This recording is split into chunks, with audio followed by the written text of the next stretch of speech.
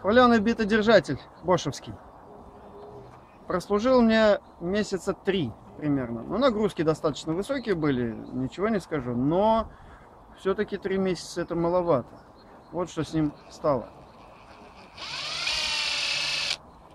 Слезалась э, внутренняя часть шестигранника. То есть Вера Импактор, он же Bosch. Но ну, не ожидал я от него такого.